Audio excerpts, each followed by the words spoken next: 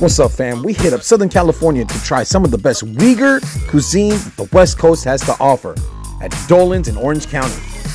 Come and grub with us on this episode of Haroon Eats and Travels. at Dolan's Uyghur Cuisine in Irvine, California, man. Got a lot of amazing dishes, everything from cumin lamb to the big chicken plate to pearl noodles and the polo.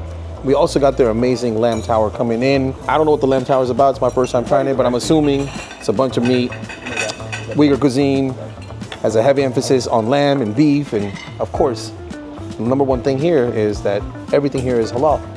So I'm ready to dig in, got the fam in tow, and let's eat. Dolan's Uyghur Cuisine is a nice little spot with great ambience, great decor, representing the, the Uyghur culture to the fullest. So we ordered the dapanji, the big chicken plate, some extra noodles to go with that. And of course, we had to order some of the polo as well as some cumin lamb. We also ordered their version of the pearl noodle plate and some dumplings. Let's grub. So we got the cumin lamb. We're about to get this. Look at this. Nice tender pieces of lamb with sau- sauteed in onions, cumin, and chili pepper. Let's give this a try. All right, guys, let's try this cumin lamb. That's how I like it, ma'am. The cumin hits nice and spicy and sauteed to perfection, man. Oh, that's really good. It's got heat, but for those who can handle heat, it ain't bad at all. It's really good.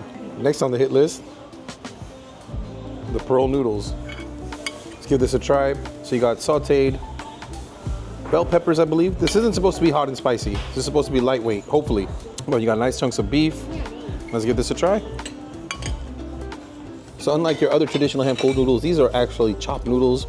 So they're all chopped up, nice and nice and even. You know what I mean? And if you're used to the long traditional noodles, I still think you can enjoy this dish, man, because this is actually one of my favorite dishes and one of my wife's favorite dishes. That thing is piping hot, man. Mm. All right. So what I do though, man, I take a little bit of that cumin lamb just to add a little bit more kick to them pearl noodles, man. It's so good.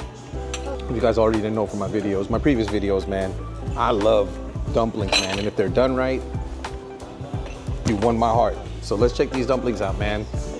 All right, guys. So these are steamed dumplings, Uyghur style steamed dumplings. Let's see what's up in here. So it's piping hot. So I'm being brave when I'm doing this. So check this out. Look at that, nice and steamy. All right, guys, we're about to dig into these dumplings. Mm, that is a really good dumpling, man. I'm massacring through this. I got family with me, so all manners are out the door. Anyways, whenever I eat, you gotta enjoy your food, man. The meat is nice and juicy, steamed to perfection. Yeah, they do it right at Dolan's, man.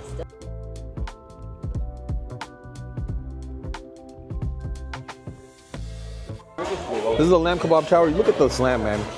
Covered in white sesame seed, black seeds, with some really. What the heck? Bro.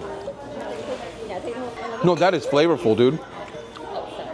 I can't even describe the flavor, but very sesame.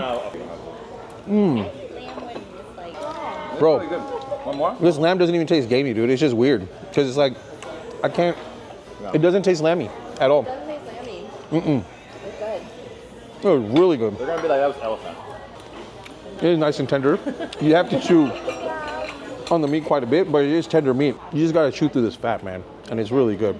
I really don't know what portion of the lamb they used here, but the sesame and whatever spices they used on this is right. They have this, it has this really nice crispy outer crust to it. Meat beneath the crust is nice and tender. Is definitely a winner.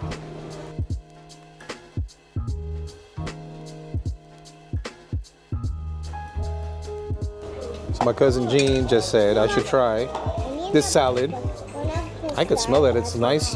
It has a nice and like I wouldn't want to say pungent in a bad way, but it's got a nice pungent smell. And you could actually smell. Yeah, I definitely can smell the garlic. Woo. Oh yeah. Let's give this a try. You need to mix up some greens with all this meat that we're eating. You know what I mean? Like, I mean, I know I definitely have to, but so you got kidney beans, got some cucumbers, some lettuce and tomatoes. But I guess what makes this salad is the dressing, right, and not the actual contents of the salad, right? The salad itself looks like a like a Caesar salad with some, you know, and Greek style salad, but with the olives and whatnot. But see how this dressing tastes, man. Gene says it's a winner, so I believe him because he was like he didn't want, you know, at first he looked at it, and even I looked at it, I was like, that doesn't look that impressive, but it's not about the looks always, man. Sometimes it's about the flavor. All right, dig in. Bro, that is hecka good. Mmm. So there's definitely some sesame oil in there. Got some sesame oil, some garlic, and of course the combination of beans, olives, lettuce and tomato. Yeah, this hits actually, dude.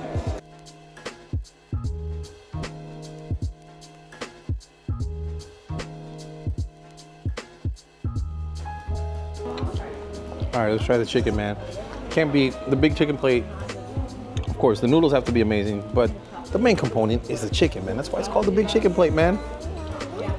Mmm. Oh, man. Chicken is braised to perfection. Oh my God. Nice soft tender pieces of chicken. This chicken is amazing.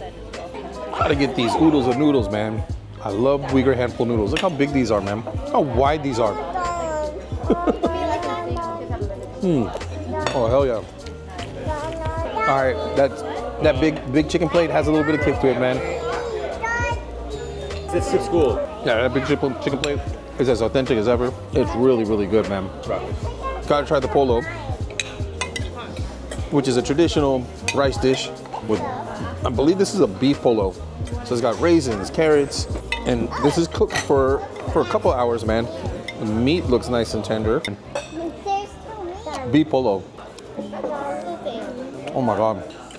So if you like Afghan Kabuli pulao and Uzbeki pulao, this is very similar to that.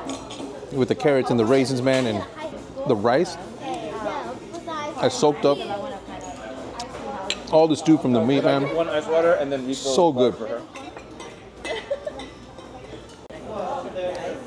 All right, ma'am. So we're gonna try their naan. This is a traditional Uyghur style naan. It is nice and steamy. Sophia, do you want to eat off Overall, or do you want to great experience here at Dolan, ma'am. Definitely get their lamb tower, their lamb kebab tower, get their pulao, and their dapanji. Those are my favorite dishes here. But everything was good. And even though the naan was a little bit dry for my taste, ma'am, I would say if you dip it in the dapanji um, stew, it's, it's actually really, really good. If you're ever in Southern California and you want your Uyghur food fixing, definitely come to Dolan's, man. They got, I think they got a couple other locations, but we hit up the one in Irvine, man, off of Culver, and food was amazing. Customer service was on point, and we'll definitely be back. You know what I mean? Next time I'm here in Southern California. But to all those watching, man, we appreciate the love and the support. Continue to watch our videos. Remember to leave a comment for your boy if you have any suggestions, and if you've eaten here before, let me know what you thought of Dolan's in Orange County, man. Until next time, fam. Peace. Assalamu alaikum.